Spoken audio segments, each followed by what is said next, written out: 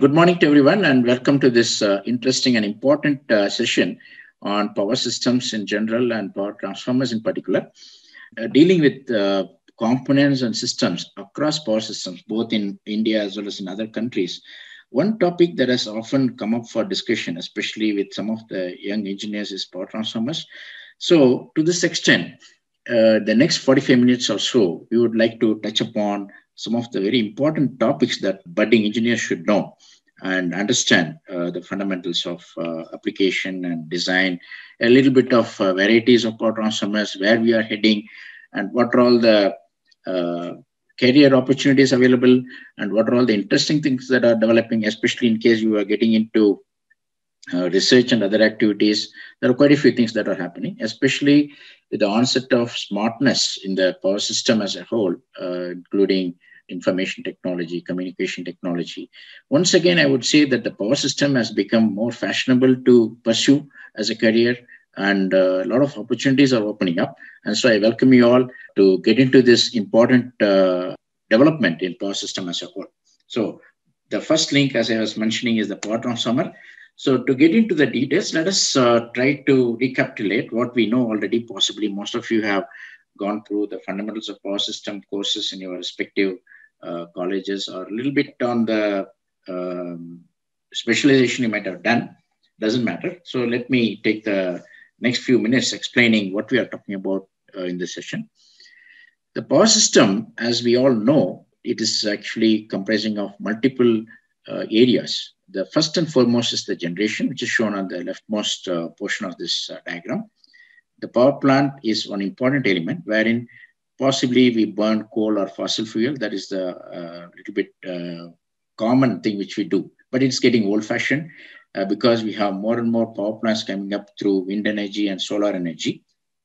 Of course, nuclear is also an important element. In some countries, nuclear power is one uh, important major component. And uh, this power generation is normally done at medium voltage levels. Uh, let's say voltage like 6.6 kV, 11 kV, 25 kV. Those are all the voltage levels.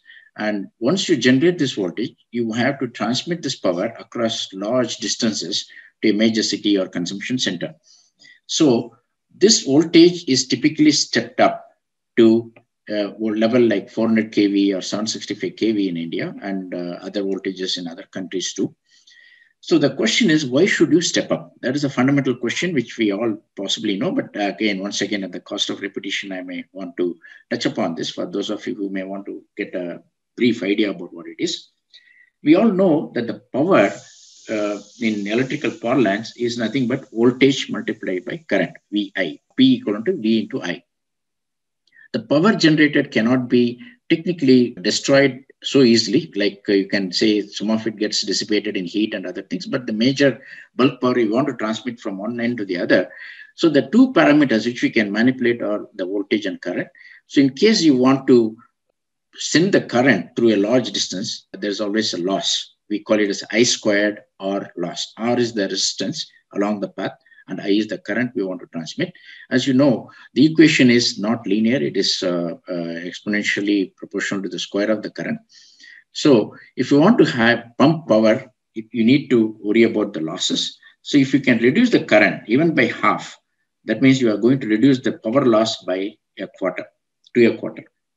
In case you are able to reduce the current by 1000 times, let us say, you are going to reduce the losses by a million times. So it makes sense sometimes to step up the voltage, say 1000 times more, and so reduce the losses a million times along the way. That is a fundamental reason why we need to step up the voltage through a device called transformer. I think that's the fundamental reason why we have the transformer in picture. And similarly, once you transmit and receive the power at the load center, typically a city or a major industry, this voltage has to be again stepped down to a voltage which you can handle.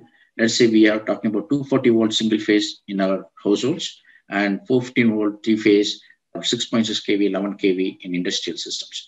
So again, we need to have a transformer which is uh, stepping down a high voltage to a lower voltage. Let's also use the term step up. Typically is used for transformer when stepping up voltage it technically also steps down the current. Similarly, a step down transformer, though it steps down the voltage, it is actually stepping up or increasing the current. So that's the fundamental thing which we'll see in the next few slides now. Uh, to touch upon a little bit on the history, which is which could be very interesting for all of us to know, there were two doyens of uh, power in the early part of 20th century when electrical power was uh, getting developed. There was one gentleman by name Edison. I'm sure most of you know. He was uh, behind many inventions. Uh, the most important being the electric bulb. We all know, but now that's also getting out of fashion. That's a different matter. But Edison is known mainly for uh, many, uh, though he is known for many inventions, but electric bulb was one of them. So he was a proponent of generating, transmitting the electrical power through direct current. And then he had a competition through another person by name Tesla. You may all know that Tesla name is very familiar with respect to the cars being manufactured today, electric vehicle, and it's going to be introduced in India too. But all the same, Tesla is one of the most major inventor of electrical power devices in the early part of 20th century. And he was a major proponent of AC. And there was a major uh, conflict of interest, you may use that word, but basically there was a lot of competition between the AC transmission system and DC transmission system. And eventually the world mostly adopted the AC transmission system for bulk power transmission, as we all know, three-phase AC power system, as we know of it, and Tesla was the man behind it. And one important element that made it possible was the transformer. That is the reason why transformer is one of the major components that we all should understand uh, further to pursue this uh, business of electrical power. It is actually a very simple device. So if you really understand a few things about transformer, uh, you are done. So I don't see it's a major problem to understand, but let us quickly step through a few things. It is highly economical device. It's a static device mostly, and it's a highly reliable device. And a typical lifetime of a transformer could be about 50 years and so. And uh, it causes possibly one of the most minimum losses in a power system. Now, uh, if you look at the picture on the right, you would see that this transformer typically has uh, two sides of it. One is called possibly a high voltage side and the other one is called a low voltage side. Uh, I have indicated with surfaces one and two. You see a large bushing. Uh, I don't want to get into the detail of what a bushing is, but bushing is basically the uh, tap through which you take the current or voltage out of the transformer into the transformer. So typically in a transformer, you have two bushings here I have represented as V1 and V2, let us say. One is big and large, and the other one is small. Wherever you have a large bushing, the conductor connected to it is small. And similarly, the smaller bushing will have a conductor which is very thick. Why? Because we all know that a transformer, though it steps up the voltage or steps down the voltage or current, whatever way you look at it, it cannot step up or step down power. Power is technically you know, uh, when you multiply by time, it becomes energy. Energy is indestructible. To an extent, yes, there are losses, but let us ignore the losses in the transformer for the time being. We are talking about bulk power transmission with losses less than half a percent, one percent in a power transformer. By and large, what it means is that the power that you measure on one side of the transformer is more or less equivalent to the power on the other side. In other words, in this particular transformer, you can see at the bottommost, which I want you to remember, V1 I1. That is the high voltage side voltage, which is written in bold and big V1, multiplied by the current on that side, which is typically small. I have written in small letters I1, which is equivalent to the other side voltage, which is small, and current, which is large. So this is a very simple equation, which I'm sure is very easy to digest, even for those who are not pursuing electrical power. This is a fundamental equation with which we go about. So in, in short, a transformer steps down or step up the voltage, and conversely, it steps down or steps up, step up the current. So this is the fundamental uh, first uh, understanding we must have about a transformer. So as I mentioned earlier, uh, once again, I would repeat that a transformer would typically have two connections. A single phase transformer is what we are talking about here, possibly uh, in case I didn't mention it earlier. Uh, the two bushings are V1 and V2 and current conductors are I1 and I2. And I can, you can see from the thickness that the one side current is smaller and the other side is smaller. Now, uh, coming to a three-phase transformer, yes, we all have three-phase system uh, for reasons which are very uh, interesting to know in case you didn't know, but we don't have that as the focus area today. So a three-phase transformer typically will have as if there are three transformers clubbed into one. So naturally, you'll have three bushings, HV bushings. Uh, let's say V1 will be typically, let us say we call the phases as RYB. It would be three bushings on the high voltage side and three bushings on the low voltage side. So this is a classical uh, diagram, which I'm sure all of you are uh, possibly have seen, but I'm just trying to include it here. As I said, this, this is not an academic session to go so much into details, but it is all the same very important to uh, at least remember this particular diagram. So a transformer comprises of uh, basically a magnetic core uh, through which a magnetic flux flows through. So typically, if we represent instead of one and two here in this picture, I'm sorry, it is uh, written as primary and secondary. P and S are the suffixes we have used here. So IP into VP equals IS into VS. And they are coupled magnetically. There is no direct electrical connection between the primary winding and secondary winding. So your transformer is a device. It not only steps up the voltage or steps down the voltage, but also electrically isolate one system from the other, what we call as a galvanic separation between two electrical systems. This could be very important for some applications. This is uh, another important element of a transformer. So let us get a overview of how this transformer fits into a power system, which is more important for practical knowledge of how and where the transformer is applied in a power system. To make things easier to understand and comprehend and make some very quick mental calculations, you don't need a calculator to do a few very quick calculations. We'll do just for understanding purposes. So we here we have a grid system shown in cloud right? So it could be a very big system of a country or a state or whatever. Let us say we have a connection. I'm talking about again single phase to make things very, very simple for us to understand. So there is a main bus we call, will nomenclature, now you have give a nomenclature as main bus, which is a 100 kilovolt uh, high voltage system, single phase. And we have the transformer. Uh, this is the typical symbol we use for transformer with two circles. One is for the high voltage winding, one is for the low voltage winding, blue and red uh, to distinguish between the two voltage levels. This is a very typical, what we call as a single line diagram, right, of a power system. So from the high voltage 100 kV, we use a transformer, which is rated for 100 kilovolt on the high voltage side and 5 kilovolt on the low voltage side. And this gets connected to a bus system, which is typically a switch gear, which is rated for 5 kV. So this transformer interconnects two power systems 100 kV on one side, 5 kV on the other side with a particular ratio, 100 stroke 5, which is around 20, which is also the ratio of the transformer we will define. And it is rated for 100 MVA. As you know, when you have the rated voltage and you have the rated MVA, you can easily calculate the current, which is what we'll try to attempt in the next slide. So this is a very simple thing. And then there's another thing called impedance. These three are the most important parameters we need to know or use in a real power system. Other things are all important, but not so important as these three uh, technical specifications of a transformer. So MVA rating, HV side, LV side, voltage ratings, and the impedance. These three are, once again, I would request you to remember the most important parameters of a transformer. So once you have this embedded in a, a system, uh, we have small squares here, which represent the breaker. It is like our MCBs in a house, but when you use it in a very big power system, we have protection system, which is connected to what we call as current transformer, which measures the current, which could be used for metering or billing purposes. Also, they are used for protecting the transformer against overload or short circuits. And so we typically have one breaker on the high voltage side, one breaker on the low voltage side, and we also have current transformers on the high voltage side as well as on the low voltage side.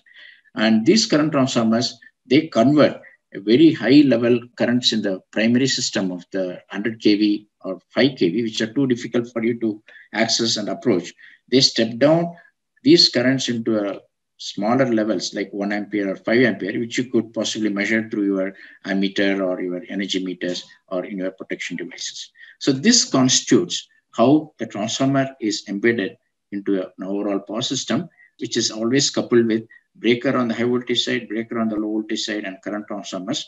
And sometimes we may also have what we call as potential transformers, which step down the system voltage to a lower voltage level for taking building and other purposes, voltage measurement purposes, which is not shown for clarity this picture. So this is how it is embedded. So once you step down the voltage from 100 kV to 5 kV, the distribution takes place where we have again multiple breakers and current transformers feeding individual loads like an industry or a small area in a city at 11 kV or 5 kV, and then it's again stepped down to a 415 volt or 240 volt, which we use in the house, which is not shown in this picture for clarity. So by and large, to summarize, we have a grid system and which is at a high voltage level, and we have typically a step down transformer which steps down from 100 kV to 20 kV, and then we have breakers, current transformers, and a distribution system. So this is in a gist how a transformer is embedded into a real power system. Moving over, let us look at uh, uh, to understand this how this transformer is fitted into an overall power system. Very quick review of what we need to know about power. Uh, the transformer is shown here. So here we have a primary uh, represented as VP and IP. The voltage and currents are represented as VP and IP. And on the secondary side, they are represented as V secondary and I secondary. The ratio between VP and VS is nothing but the turns ratio. The number of turns on the primary side is NP and the turns on the secondary is NS. So NP divided by NS is nothing but the ratio A, which is A is to 1 is represented here for clarity. And the load is connected on the secondary side, which is represented as ZL. It could be purely resistive sometimes, like lighting load, which you could possibly write as RL. But invariably, the secondary side of the transformer is connected to not just lighting loads, but also a number of induction motors and other inductive devices. So it is represented as RL plus XL. So to put together, it is called ZL. Now, coming back to this right side of the slide, we have the voltages and currents I have defined and number of turns is defined. Just, just for you to recapitulate whatever I have been mentioning with respect to the diagram, they are represented here. I hope uh, this picture is very clear, except that here I have taken a small liberty of converting it uh, A into N here. N is the number of ratio, number of turns ratio. So I may need to correct this diagram later, but right now, let us take this number N as the ratio between the primary and secondary turns, which is also the uh, primary voltage to secondary ratio. Watch out here. This is secondary current by primary current against the primary voltage to secondary voltage ratio.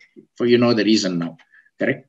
Because of this VP and IP equal to VS by IS, the ratio VP by IS by VP by VS is inversely proportional to or inversely equivalent to IS by IP. Now, coming back to this uh, power of the transformer, I mentioned it is VP primary voltage multiplied by the secondary I mean, primary current, which is also equivalent to secondary voltage multiplied by secondary current. It can be often represented in kVA because when you talk about the power levels, the VA levels become very, very small for us to represent. So practical power transformers are rated in kVA, thousands of VA, or MVA, which is 10 to the power 6 of VA. And voltage is often represented in kilovolt, right? You might be aware that the power, the distribution power happens at 11 kV, which is step down to 415 volt. So typically a distribution transformer may be uh, represented in kVA, which means it is kilovolt primary multiplied by current primary, which is a very simple way of representing. So K and K on both sides are very, very important to keep here. And uh, in case of major power, bulk power transmission, KVA is not sufficient. Still, we have so many zeros to be added for very big transformer. So we end up with representing the power as MVA, which is nothing but kilovolt power and I primary divided by another thousand has to be introduced here. Or it can be also represented as kilovolt secondary current divided by 1000. So this is another, these two are two more formulae I want you to uh, keep in mind. So let us do a very quick, uh, I would say, thumb rule calculation, right? Very simple calculation. So in case we are talking about a single phase transformer, which is 10 MVA rating, kilovolt primary is 100 kV. The turns ratio is 20. So you can quickly calculate what is the primary current, secondary voltage and secondary current. You need to use the formula I used just to give you a hint. Let me go ahead. The solution is, we need to remember this formula, MVA equivalent to kilovolt and current multiplied by 1000. So just substitute the values. So 10 is the number we have used here. MVA is 10 multiplied by 100 times, which is the kilovolt peak IP. So from which you can calculate IP right? So it is very simple. 100 ampere multiplied by 10 kV will give you 10 MVA. And similarly, the other values can also be figured out. I'm not here to get into the details, but these are all things which you need to do very often in a real power system or real application whenever, wherever you are. So just substitute, back substitute some of these values, you would get the other values. So you need to manipulate either this power equation or the turns equation, right? So going back to the circuit again, we need to define the load impedance. So we all know that the impedance is nothing but voltage by current, basic Ohm's law equation we all know. So the secondary impedance equals the V voltage, V secondary by I secondary. And similarly, with respect to the primary, we all know that Vp by Ip would give you the primary impedance. And now substituting the values of primary with respect to the secondary, you know, the Vs by Vp is equal to N and Is by In equal to 1 by N. So you substitute all this. So you can directly calculate the primary impedance in terms of the load impedance. So in case you have a step down transformer, 10 times it steps down, let us say, and in case the secondary one is 1 ohm, and so 10 square is the number here, so it becomes 100 times more. I don't want to get into so much detail about this particular diagram, given the small uh, duration of our uh, discussion here. But just to give you an idea, any transformer, as I was mentioning, has a primary winding, secondary winding, right? And then when it comes to real power flow, in the very beginning of the talk, I mentioned that you need to ignore the losses, but there are losses, all said and done. So the losses are caused by the winding resistance on the primary side and the winding resistance on the secondary side. Here we have conveniently shifted some of the secondary resistance and uh, inductance onto the primary side. We'll not worry about it for the time being. The idea is not to discuss so much, but you can see that there is a figure A square, which is the ratio square, which is translated from the secondary to the primary as explained in the previous diagram. So when you inject current through this, this resistances will cause some losses. So that is copper losses we call. And then there is also a resistance here, which represents the magnetic losses, which could be categorized into multiple things, including eddy current losses and hysteresis losses and all that. What is important from system perspective are two other important elements here. One is the primary leakage reactance and secondary leakage reactance, and also the magnetizing reactance. So these three reactances are very, very important. What are they? Whenever you make a real power transformer, whatever you do, the primary windings are not necessarily coupled fully to the secondary winding. There's always some amount of magnetic flux which is linked only with the primary winding or with the secondary winding. They, in a way, represent pure inductance. They are not part of the transformation that is going on inside the transformer. And when you try to inject current through those leakage inductances, they will cause a certain amount of voltage drop. And that is nothing but leakage drop across the transformer. We'll talk about it in the next slide. And also, even if you don't have any load connected, there's a small magnetizing current which will flow through the transformer, which is sufficient to excite the transformer with a particular magnetic field. So that is represented by Xm. As you know, this Xm as a value would be very, very high because the current drawn from the system and the transformer is simply energized would be a small percentage. This is something very important for engineers who are practicing power system to know. Suppose the rated current is 100 ampere, the exiting current would be less than 5 amperes, right? 5% or 3% or even 1%, depending on the design. And uh, the losses would be a very, very small percentage, 0.5% or so. These numbers are very important for you to know. That's the reason I am possibly repeating some of them again and again. Anyway, this diagram uh, represents whatever I was mentioning about. The idea is not to go through it again. So R is resistance, X is inductance, and P suffices for primary and secondary side. Core is typically represented as RC, the core resistance. M is the magnetizing reactance. And uh, in practical world, the resistance is very, very small compared to the leakage reactances here on the series path. On the shunt path, RC and XM are very, very high right, as a magnitude as compared to RP and XP. So in a way, we ignore all the parameters except this XP and XS. The primary and secondary leakage reactances are two most important elements if you want to really apply the transformer in the power system, not as a product, but as part of a link in the power system. So the transformer impedance, as I was mentioning, the third important parameter I was mentioning about is basically the primary leakage reactance and the secondary leakage reactance connected in series. So that is a transformer impedance.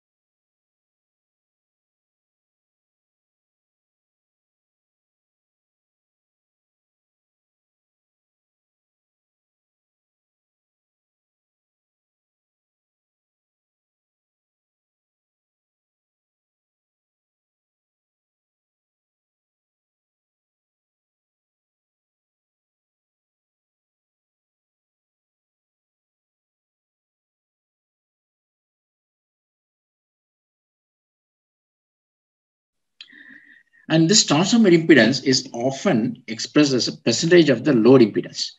This is very, very interesting and important. Again, the typical values are 10% for power transformers and 5% for distribution transformers. We'll see why it is like this roughly. So when you say power transformers, we are typically talking about 5 MVA and above, right? So this is some important uh, demarcation between these two categorization, which is also very, very important from practical aspects. So the power transformers are used for bulk power transmission and generation and all that. And distribution transformer is invariably used for the transformers which we see on the roadsides and cities for stepping down 11 kV to 15 volt, sometimes even to 240 volt. And today, distribution transformers are also used to integrate the renewable energy distributed generation, like your rooftop and uh, small wind power generation back into the grid. So that's the time in use. And this distribution transformers have a lower impedance. The reason is the impedance as I was representing actually represents the uh, voltage drop. So the distribution side, you want to keep the voltage drop to the minimum. We tackle it with a very low uh, impedance. Whereas in the power transformers, you will see in the next few slides, though the impedance is very high, it actually helps. You will be surprised to know that higher impedance means the lower short circuit through fault current through the transformer. So this is very, important aspect. And so we keep it little high and we compensate for this higher value by what we call as the tap changes on the transformer.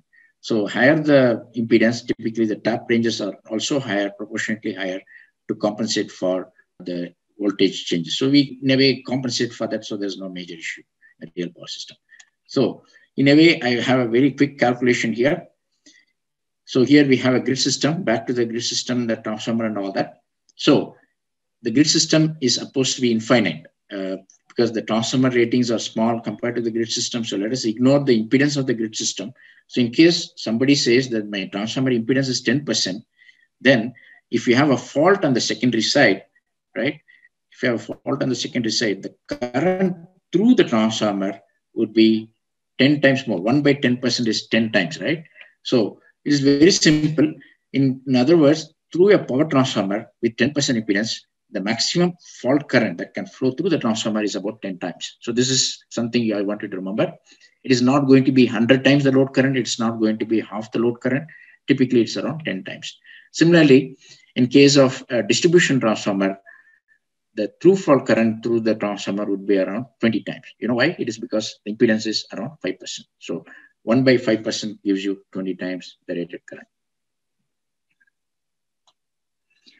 The transformers also differ with respect to the way they are constructed. There are two basic constructions. One is core type and shell type. As you can see, the core type transformers, the windings are possibly on uh, distributed on two limbs in a single phase transformer context. And in case of shell type, the, the windings are around one particular limb and the magnetic flux goes through the other two limbs here. And so it is more kind of a compact design. The copper is less in this, but here maybe the iron is less. So it's a compromise. There are some operational advantages and uh, design advantages and disadvantages in each. But I would say most of the major power transformers, they're all core type, but possibly smaller and distribution types are all shell type. Some of the old power transformers used to be shell type, but I would say today, most of the major power transformers, we use type. And you can see here, one simple thing here, three-phase transformer, where you have RYB link, there is no return magnetic core.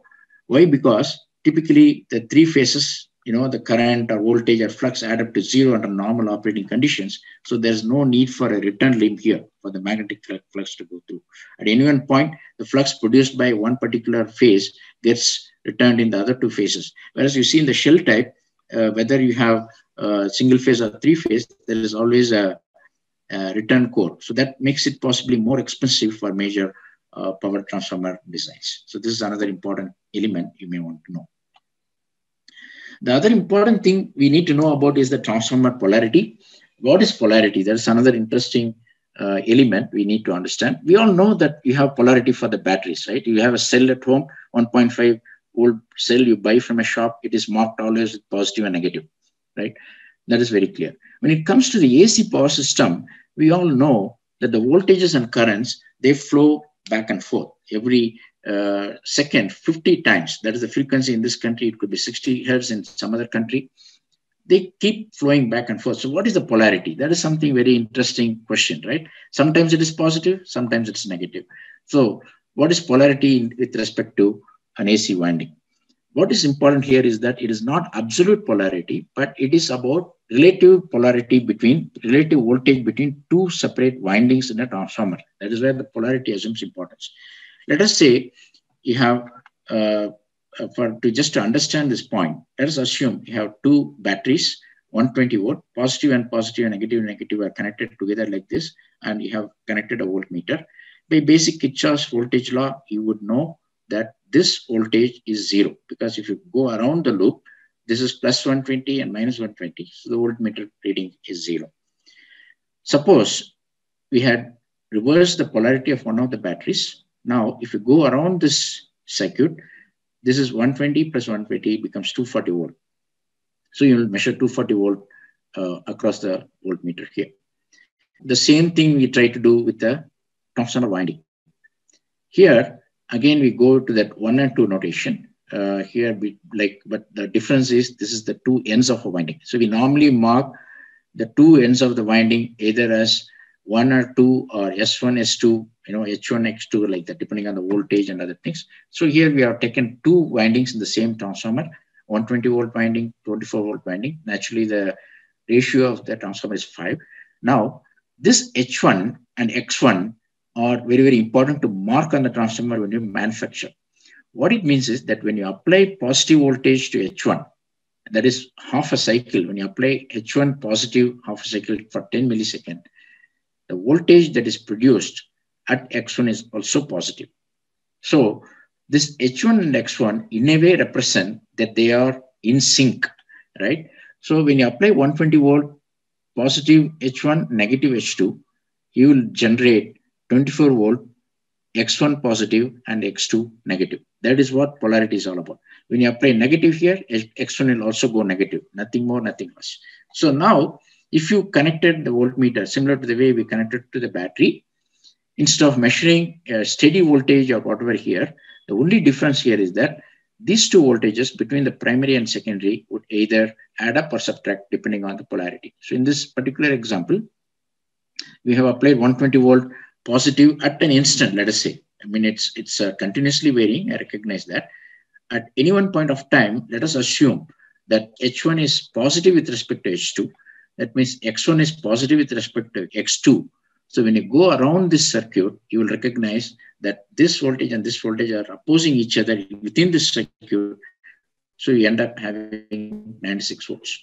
So now we understand. Suppose somebody reversed the two polarities here and connected the voltmeter the other way, you would recognize that this H1 is positive here, X2 is negative. So when you put positive, negative, negative, positive, they all add up to 141 volt, which is nothing but 120 to 24 volt. So this is an important uh, thing we need to recognize and remember that though transformers are alternating current devices, any AC machine for that matter, there is a thing called polarity. And polarity is about getting a particular voltage output corresponding to one winding with respect to another winding. So it is not about with respect to whether it is positive or negative, what this voltage is with respect to the other winding. So that is what polarity is all about in a transformer winding. Why this is important? It is very, very important in a three-phase system. Because in a three-phase system, instead of positive or negative, we all know that the voltages and currents, for that matter, they swing with respect to each other with, a, at 120 degree electrical angle or let's say in a 50 hertz system, it is 8.33 millisecond. In other words, if R phase goes positive 120 volt at a particular point, the Y phase voltage would also be the same value after one 8.33 millisecond and so on and so forth. So now in a three phase transformer, which is nothing but a combination of three transformers put together, we have a problem here. In the sense, these three windings can be connected either in what we call as delta, means this starting of the one winding can be connected to the beginning of the other and so on and so forth and form a loop. And we bring out three wires here called delta or alternatively, this is very simple to explain. R phase, Y phase, B phase, they remain as it is. There's a dot here. I sorry, there's a mistake here. R, Y, B, and the neutrals are all connected together. So that's called Y. So in any three phase winding, I have a choice. It can be connected in star or delta. So technically a three-phase transformer can be star, star, star, delta, delta, star, delta, delta. So all these combinations are possible. Each combination has different application and usage in a real power system. As you all know, in the distribution level, uh, typically in our systems and in our cities and uh, industries, when you're drawing power from, uh, let's say the ESCOMs, let's say typically BESCOM or Tata Power DDL in Delhi, the 11 kV side is typically connected in delta and uh, the load side is typically connected in star. And in case of a step-up transformer, delta is on the generator side, star is on the high voltage side. And we'll also talk about other types of transformers very shortly. Now, you might always also wonder, maybe when you started this uh, electrical course, why this three-phase system, we always have root 3 as phase-to-phase -face voltage. Let us say you have a 400 kV system, practicing engineer would say it's a 400 kV system. 400 kV is across phases. It is not between phase and neutral. The explanation could be this. I'm not saying this is the only explanation, but this could be one of the explanation I would normally explain to students. You know, when you talk about uh, three-phase transformer, the total MVA is the sum of all the three individual phases, right?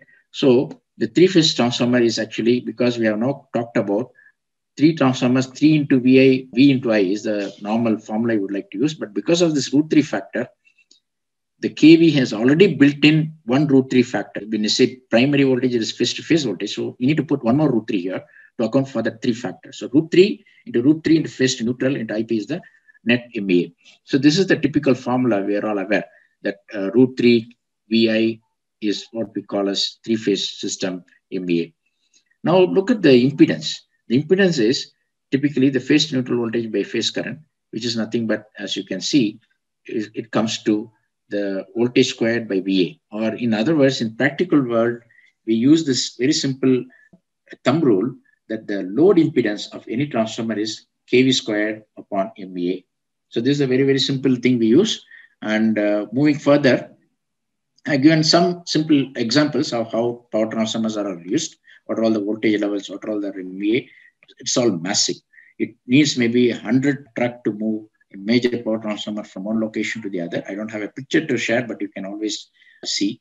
And it's a huge factory that we have across the world, various companies manufacturing these transformers. It's a very exciting field. And uh, the distribution transformer factory can be very small. It's not a big deal. It's a typically a medium scale industry in India. There are thousands of manufacturers manufacturing the distribution transformers. So here are some examples. So the power transformer would typically have uh, the bushings and all you can see. And then there's also conservator. We'll talk about it. A distribution transformer is small in size, which is typically mounted on a pole on the roadside. And I was mentioning about changing the tap based on the impedance. Here it is. And so here there are multiple taps. We change the transformer ratio by changing the taps here. And this is one important uh, element in most of the power transformers. And it is also the weakest link. Uh, maybe 50% of the transformers, they fail because of some problem with this mechanism here.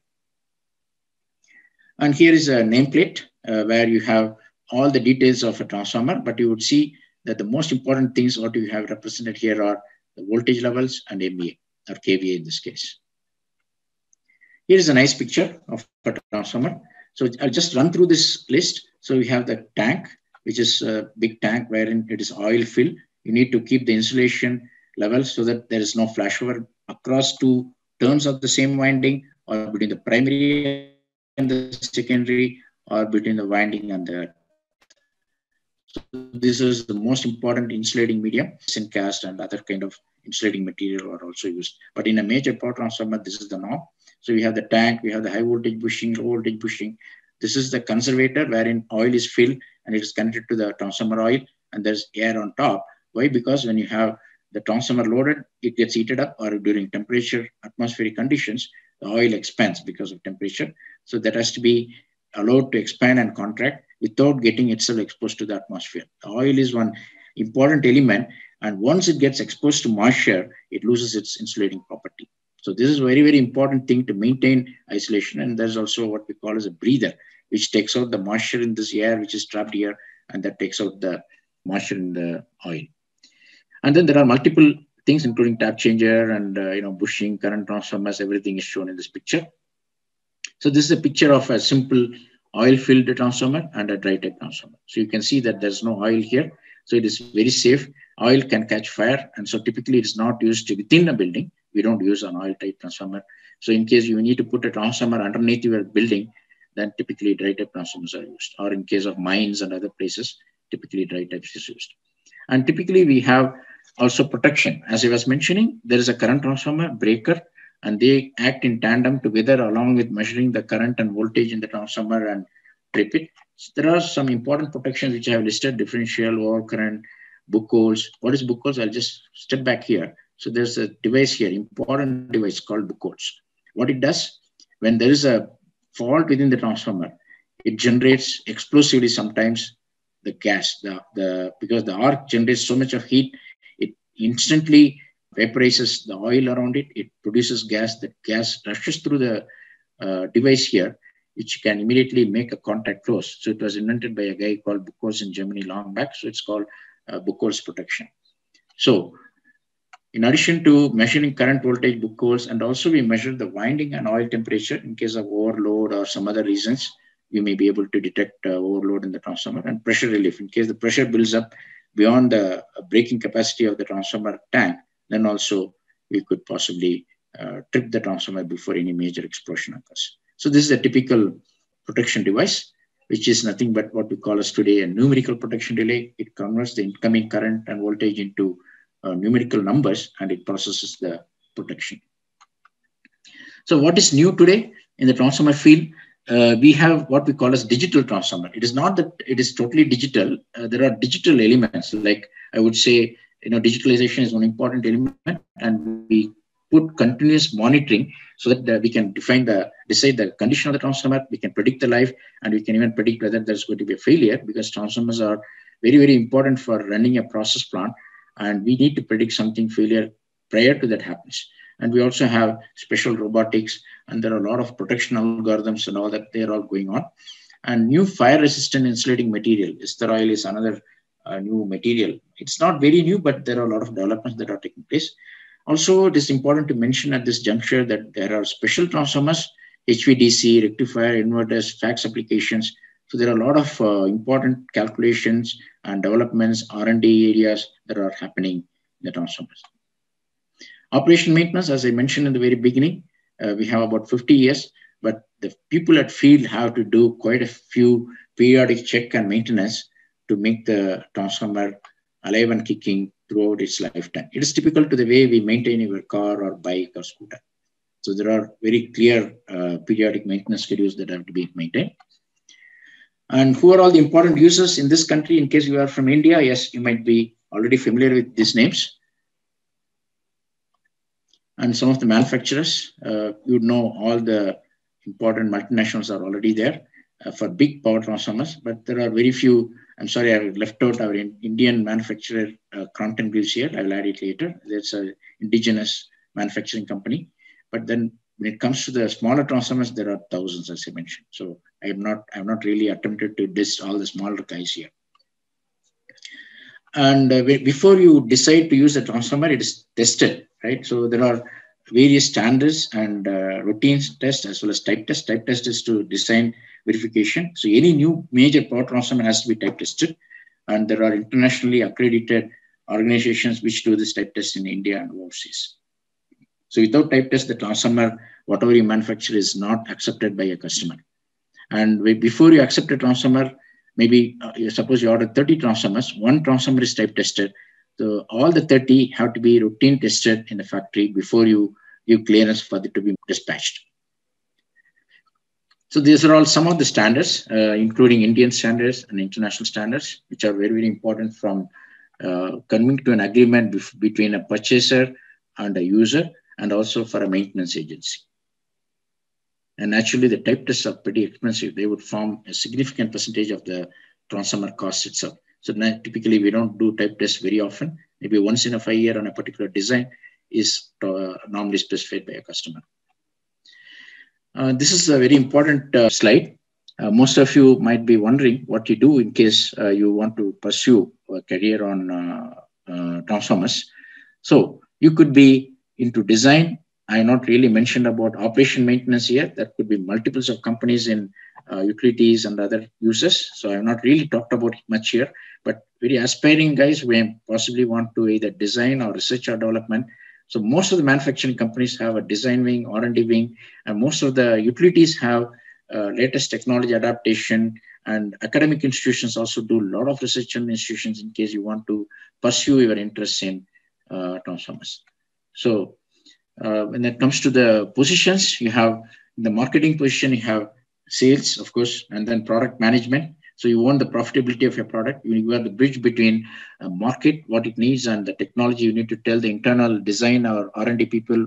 So that is another uh, career path that you may want to choose, or business development, which is somewhat like not direct sales. You don't uh, clinch a deal, but you make presentation and technical discussions with the customer before the customer specifies a particular product. And of course, consultant. I started my career in Tata Consulting Engineers long back. So so consulting engineers. There are multiple paths available, but I would say in general, uh, when you are an electrical engineer, uh, sky is the limit, and transformer is one, one important element. I don't say you should pursue a career only in transformer, but I would say whichever path you choose in electrical power system uh, as a whole, the essential knowledge you must have is on transformers. Other things can follow.